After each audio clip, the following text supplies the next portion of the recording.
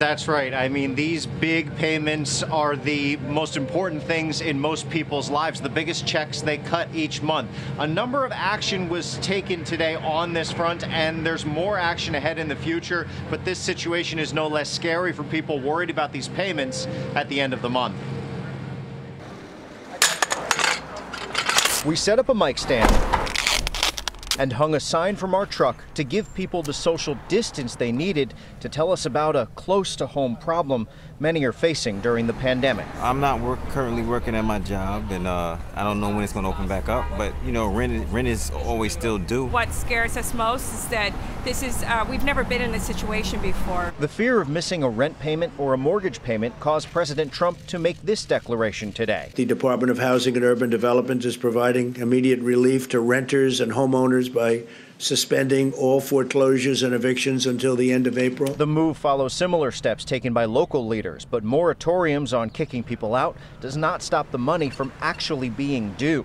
So the Housing Policy Council, a lobbying arm for most of the big banks, is putting together a program that will allow people to defer mortgage payments, writing to me, quote, "We think such a plan can be in place very quickly, but we also want to get the details right and be sure we are well coordinated with all the appropriate government agencies before before sharing any further details. As for rent, it'll be up to individual landlords to work with their tenants on a plan. And it was heartwarming that several building owners saw our sign and wanted to stop and tell us they would do what they could. We have tenants, and we've reached out to all of them, making sure that they're okay. And, you know, if they need anything during this time of need, we want to work with them, we want to help them, we want to make sure that everybody's okay. We all have to help each other. That's the only way it's going to happen.